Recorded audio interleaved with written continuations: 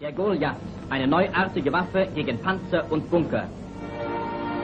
Der fernzusteuernde Zwergpanzer wird für den Einsatz vorbereitet.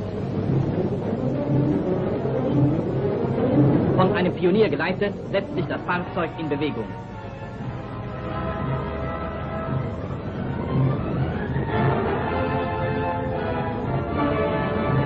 Der Goliath wird in Stellung gebracht. Als Angriffsziel dient bei dieser Übung ein erbeuteter, schwerer feindlicher Kampfwagen. Der Gruppenführer gibt den Einsatzbefehl. Goliath wird dem Feind zum Angriff entgegengeschickt.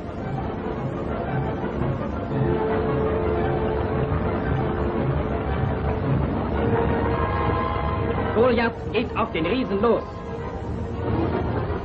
Die Ladung des ferngezündeten Goliaths jagt den Stahlkoloss in die Luft.